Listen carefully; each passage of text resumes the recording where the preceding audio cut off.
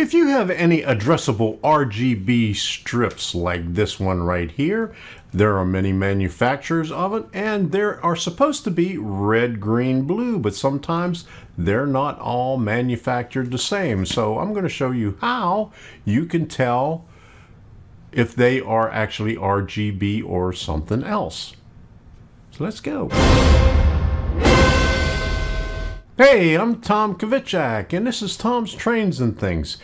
I've done some videos on addressable RGB LEDs earlier, and I've done a bunch of other ones on some other strips that aren't RGB and aren't addressable but we're going to talk about the addressable ones today, the RGB ones. And there are many different manufacturers. There are many different chipsets, TM1803, 1804, 1809, WS2811, 2812 a lot of them. Where are we going here? 2812B, APA 102. There are a lot of different chipsets in here, a lot of different configurations. You can get them 30 per meter, 60 per meter, even 144 per meter. We have Christmas coming up pretty shortly, and if you ever seen those houses that have all those lights everywhere doing a show for you, that's these right here. They're RGB addressable light strips.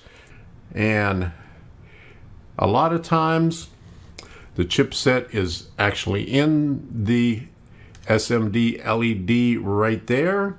Sometimes they're in between one per, LED. Sometimes there's one per three LEDs depending on how they're manufactured.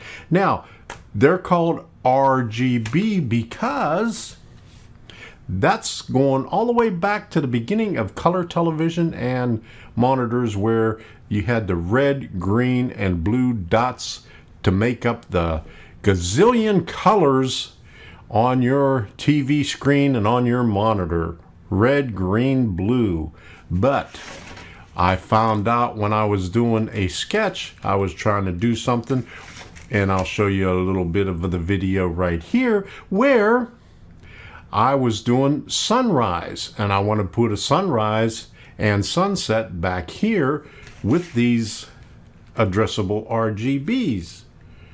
But it wasn't coming out the right colors. I was supposed to have, starting out with red, orange, and yellow for the very early morning, and it was coming out green. Okay, but anyway, let me turn this on. I have I got it started out and I tried two different uh, LED strips and it's and I just have it sitting behind the buildings right now. I don't have it up in the ceiling because I'm I'm still working on it. I got to uh, get a different color palette because the color palette that that I'm working on right here says it's supposed to have red, orange, and yellow that don't look like red, orange, or yellow. To me, it's blue. The other LED strip that I had, it came out green through the through the thing.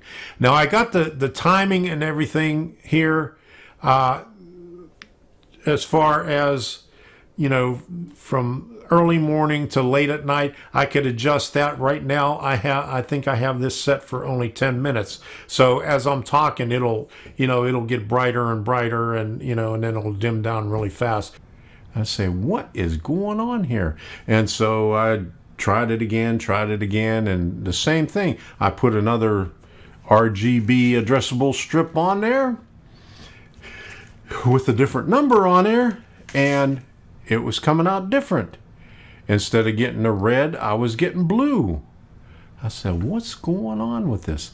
And then I found a sketch. While I was looking through the libraries for the fast LEDs, I found a sketch in there to calibrate the RGB. And I said, calibrate the RGB. And I was reading up on it, and I'll show you it right here. The name of the sketch is RGB Calibrate, and as you can see right here, use this sketch to determine what the RGB ordering for your chipset should be. Steps for setting up to use. Okay, and basically what you have to do is uncomment the line in the setup that corresponds to the LED chipsets that you're using. Specify the RGB order as RGB. Define data pin to the pin the data is connected to. Optional if using software SPI for chipsets that are SPI based. Define clock pin to the clock pin.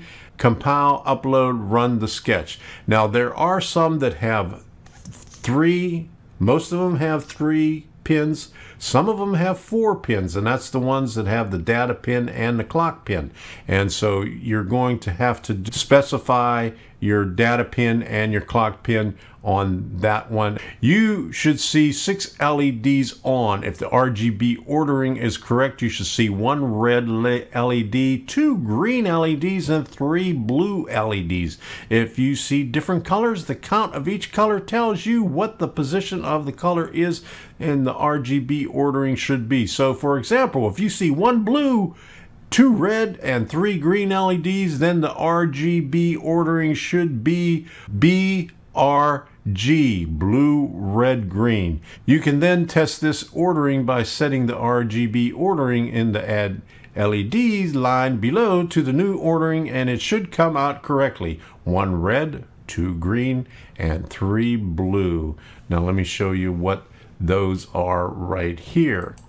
Now you can see in here and I'll just do the fast LED add LEDs WS2812B which is the one I'm using right now.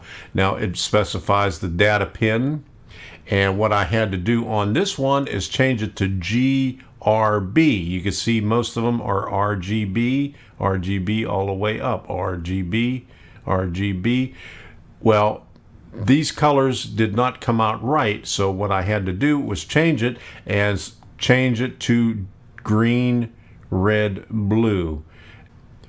Once you have this set here, you test it again. When I first turn this on, you're going to see what comes up. And it should be red, green, and blue, but you, as you can see, there's one green, two red, and three blue. So I, I need to change the order on that. Now, you're going to get colors showing up on your strip they're just going to be the wrong colors. They're going to be in the wrong order. So that's why you need to calibrate it and change it in your sketch, whatever it is. Okay, I'll show you how it is corrected. That's what you want to see right there. One red, two green, and three blue.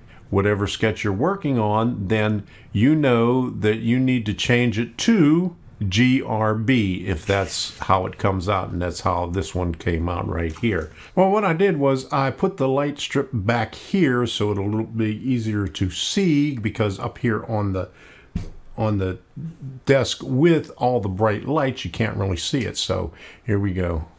We're starting out with the red and it progressively gets brighter and brighter until it becomes uh, daylight. So that's what it that's what it looks like. And if you haven't seen any of my live streams, you'll notice whenever I have Super Chat, I have this going up here. This is another LED strip that I have up there that does a simulated strobe in white. There are some light strips that are that you could use with Arduino, and then there are other ones that have the IR sensor and the remote built in for it so you could uh, do it like this. These ones right here that have the remote with them, you could disconnect it and still program them individually like this but the there are kits that come out that have the remote and the IR sensor is which I have up here to give me my background uh, let me turn this up a little bit you can see that I got my background color up here and I could adjust that and that's what this is from. This is an RGB light strip that uses this and it also can be used with uh, your phone amp There are many different phone apps out there for the different ones. There are manufacturers everywhere that make these things. You can get them on Amazon, you can get them on eBay, you can get them at Walmart, you can get it anywhere that you could find LEDs. And probably you're going to find a lot of them because Christmas is coming up and there you're going to have them for your outside lighting. They come waterproof like this one here, which has a plastic coating or PVC coating over top of it, and it comes without the coating on it, which is not waterproof. Uh, the most of the ones that I got are waterproof. It's just easier to work with with those. If you have to, you can just strip the waterproofing off of it. It cuts off really easy. And as always, the links are in the description. So until the next time, we'll see.